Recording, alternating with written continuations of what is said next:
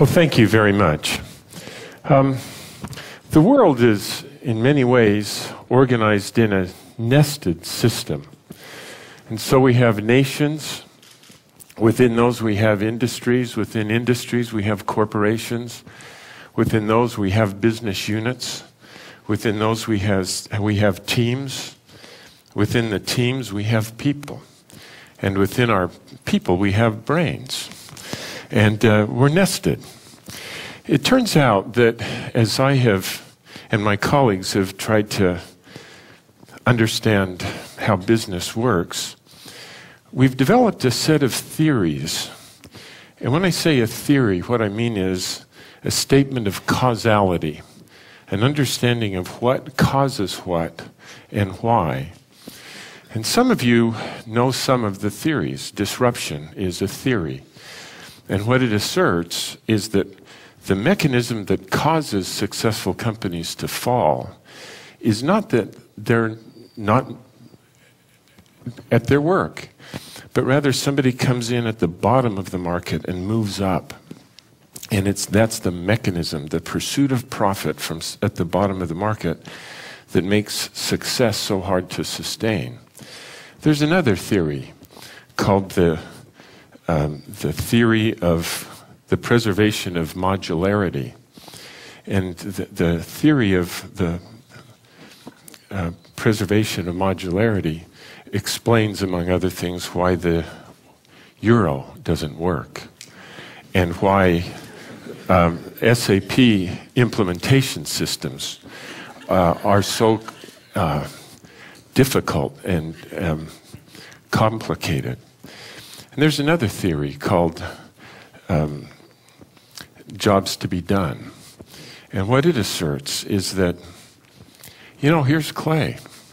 I have characteristics. I unfortunately am 60 years old now. I live in the suburbs. Three, uh, five children, un- unfortunately, have all left and are living independently, and uh, life has become boring. But the fact that I have those characteristics doesn't cause me to go out and buy the New York Times. There might be a correlation between my characteristics and the propensity to buy the New York Times, but the characteristics don't cause me to do anything. What causes us to do something is there's a job that arises in our life, and we have to get the job done. And what causes us to buy a product or a service is we have to reach out and find something that can do the job and pull it into our lives. And that's the causal mechanism behind a purchase is understanding what's, what's the job. And the insight there is that the customer is the wrong unit of analysis.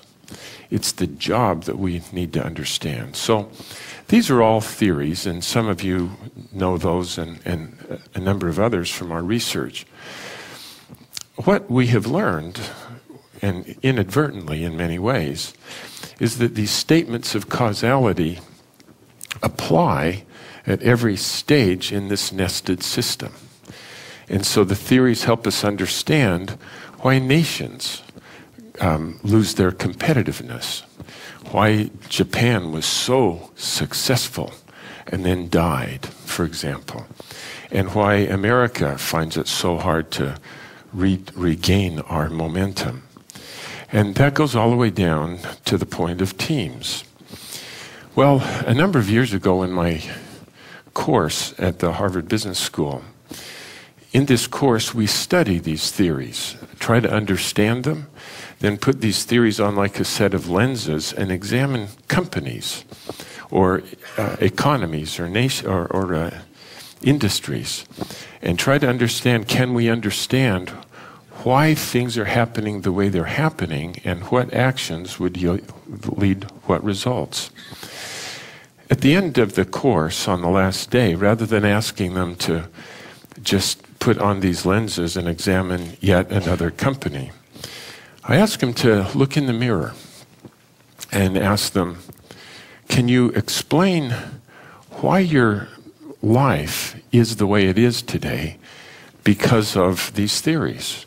And can you predict what will happen in your life if you continue to do what you are now doing.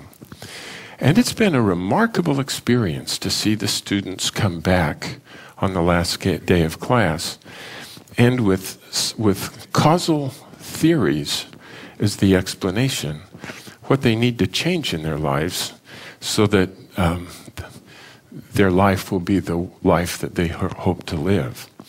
And I thought I'd just offer a couple of these in the hopes that as entrepreneurs and uh, uh, ambitious people, you end up living the life that you hope you will live. So, one of the things we observed, as I mentioned, is that what kills successful companies is somebody comes in at the bottom of the market. So, if you go back a, a, few years ago in telecommunications, the darlings of the industry were Lucent and, and Nortel, made circuit switching technology. And this rusty little or small company, not very consequential, called uh, Cisco, emerged. And their technology, the router, wasn't good enough to be used in voice. But they deployed it at the bottom of the market with data and then went up market and ultimately killed Lucent and Nortel. And uh, the reason why is that when they looked down at a router, the router on every dimension wasn't as good. And so they kept making better and better uh, circuit switch devices. And uh, we ask ourselves, I wonder who decided at Lucent that they should go out and get killed. and when was the date on which they decided they would get killed? And the answer, of course, is that nobody made the decision. In fact, what happened is all the individual people in a very successful organization did everything right. But because they did all of these things independently and what made sense in those circumstances, when it summed up, it summed up to disaster. Well, the reason why it sums up to disaster is they're trying to um, maximize their profitability. And typically, the way you calculate profitability, tomorrow's investments that pay off tomorrow go to the bottom line and are much more tangible than investments that pay off 10 years from now. Well, when I go back to my graduating classes, I graduated from the MBA program at Harvard in 1979. We have a reunion every five years.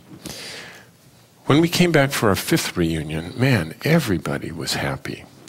Most of our classmates had married people who were much better looking than my classmates. They're doing well in their career. But as we hit the 10th and 15th and 20th and then the 25th anniversaries, oh my gosh, my friends were coming back uh, not happy with their lives. And very many of them had gotten divorced, and their spouses had remarried, and they were raising their my classmates' children on the other side of the country, alienated from them. And I guarantee that none of my classmates ever planned when they graduated from the, the business school to go out and get divorced and have children who hate, hate their guts and are being raised by other children. And yet, a very large portion of our, my classmates actually implemented a strategy that they never planned to do. And it turns out that the reason why they do that is the very same mechanism, and that is the pursuit of achievement. So we all, everybody here, is driven to achieve. And when you have an extra ounce of energy or 30 minutes of time, instinctively and unconsciously, you'll allocate it to whatever activities in your life give you the most immediate evidence of achievement. And our careers provide that immediate evidence of achievement. We close a sale, we ship a product, we finish a presentation, we close, close a deal, we get promoted, we get paid. And our careers provide the most very tangible, immediate achievement. In contrast, investments in our families don't pay off for a very long time. In fact, on a day to day basis, our children misbehave over and over again. And it really isn't until 20 years down the road that you can look at your children and be able to put your hands on your hips and say, We, we raise great children. But on a day to day basis, um, achievement doesn't at hand when we invest in relationships with our family, with our children, and our spouses. And as a consequence, people like you and I who plan to have a happy life, because our families truly are the deepest source of happiness in our lives, find that, that although that's what we want, the way we, we invest our time and energy and talents causes us to implement a strategy that we wouldn't at all plan to pursue. And so I wanted to just offer that one as something to think about. Um, the reason why successful companies fail is they invest in things that provide the most immediate and tangible evidence of achievement. And the reason why they have such a short time horizon is that they are run by people like you and I. And we then apply that very, same th- uh, thinking process in our personal lives with sad results.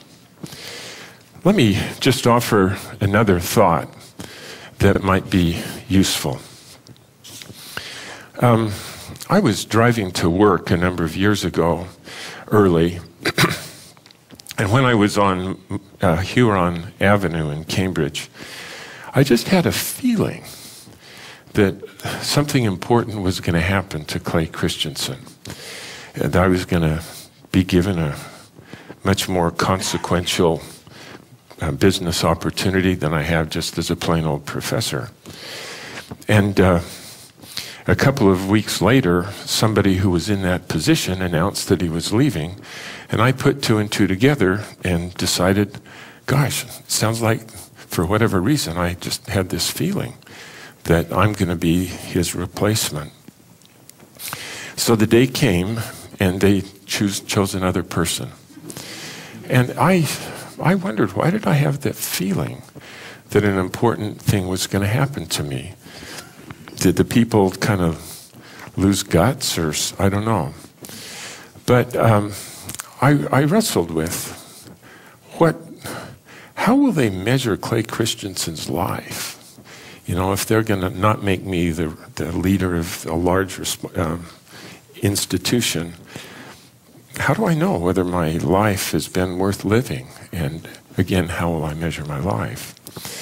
And uh, I realized that I studied this for a long time, and I reached the strangest conclusion that uh, God doesn't employ accountants or statisticians. And what I mean by that is because you and I have finite minds, when we try to understand what's going on in the world, we have to aggregate things. So in your companies, you can't keep track of every individual invoice. And so you have to aggregate all, the, all those up eh, so that you have receivables and payables and revenues. And you can't keep track of every element of cost. And so you have to aggregate all that up into total cost categories. And then you subtract that from this and there's a number. And that's the way we, we uh, try to understand the world is because we have limited minds. We have to aggregate things up. And then we'll look at that number compared to last year's number. And if it's better, then we say we're doing better. And that's the way we uh, look at the world because of our minds. And it has then an, another interesting effect on us, and that is because we have to aggregate, we get a sense of hierarchy in the world. In other words, people who are higher up in larger organizations are more important than people who, who pr- uh, preside over fewer numbers of people and fewer numbers down the road, down the bottom. And so we tend to this, we get this sense that people who achieve in a hierarchical sense, their, their lives will be judged somehow as better li- having lived than those below. And we measure sometimes how high we go or how successful we are by how much money we make. But these are all the result of our having limited minds and they're having to aggregate measures of success. Um, and this choice of measurement is actually a big deal. In a company, for example, if you measure profitability by return on net assets, that's a ratio. And sure, you could be innovative, develop successful new products, and take that profitability and stick it into the numerator of the ratio. But you could also reduce the denominator of the ratio by outsourcing everything.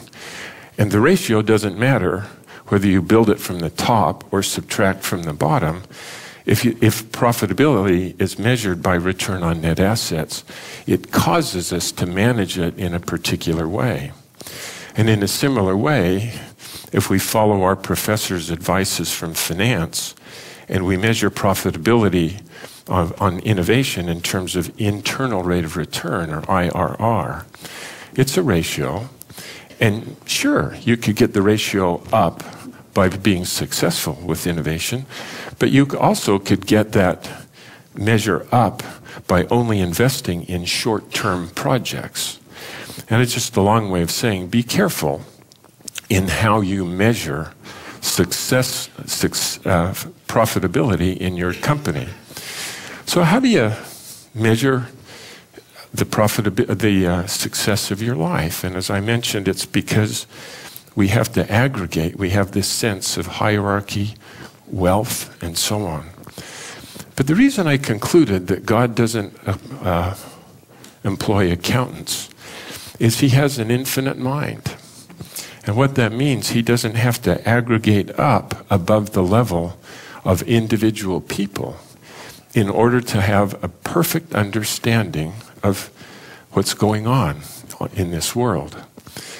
And when I realized that, that he doesn't have to aggregate up above the level of individuals, then I realized, oh my goodness, when I have my interview with God at the end of my life, he's not going to ask to show, show, me how, how high I went in anybody's uh, org chart or how much money I left behind in the bank when I died but rather he's going to say, Oh, Clay, I put you in that circumstance. Now, can we talk about the individual people whose lives you helped to become better people because you worked with them, or they were members of your family, or you just met them and they needed your help? And then, Clay, I stuck you, you in this situation. Now, let's talk about the individual people whose lives you blessed because you used the talents I gave you to help them. And I realized that that's the way God will measure my life is the individual people whose lives I blessed. And I just wanted to offer that as the second takeaway from at least what Clay Christensen is thinking about. And that is, it's actually really important that you succeed at what you're succeeding at but that isn't going to be the measure of your life. God doesn't count, He doesn't aggregate. And uh, He's just going to assess you on the basis of how well you helped other people be better people. Well, God bless you. I hope that some of these ideas will be helpful to you and that you will be successful in the way that God will measure success. Thank you.